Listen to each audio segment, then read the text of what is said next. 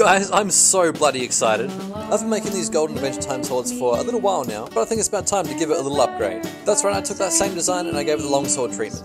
As you can see, the sword is now much larger, but due to the proportions, it remains pretty close in weight. It still has that all-steel handmade construction, and the very same kangaroo leather grip, although this time around we went all out with a nice faceted dual pommel.